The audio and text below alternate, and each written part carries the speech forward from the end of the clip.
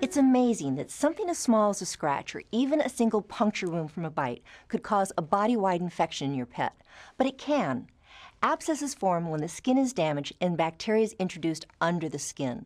The body tries to kill off the offending organisms by marshaling its white blood cells to the site.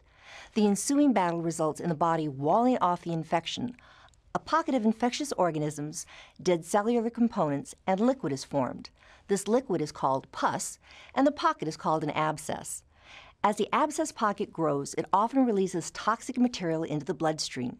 This results in the pet developing a fever, a feeling of lethargy, and usually a tender swelling at the site of the injury. An abscess may suddenly rupture with a gush of fetid material. This will look terrible, but your pet usually feels better with the release of this pressure. You might be tempted as a pet owner to then try and treat the wound at home. This is not in your pet's best interest. Abscesses will frequently heal in one spot only to appear in a nearby location. This happens when infectious material migrates under the skin, forming a tract of diseased tissue in its wake. The optimal way to treat an abscess is by professional veterinary care. Your veterinarian will evaluate your pet's overall condition.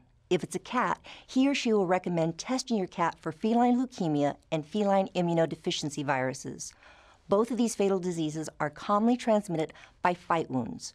Surgical correction may be needed. Special tubes called drains might be placed in the abscess pocket to allow the infectious material to escape, or it may be necessary to remove diseased tissue from the area. Your pet could be hospitalized for several days of treatment.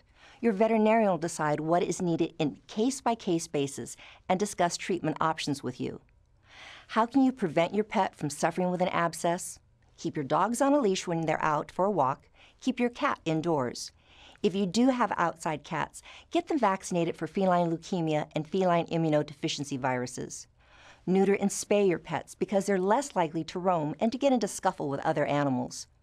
Need more information on abscesses? Just ask your veterinarian.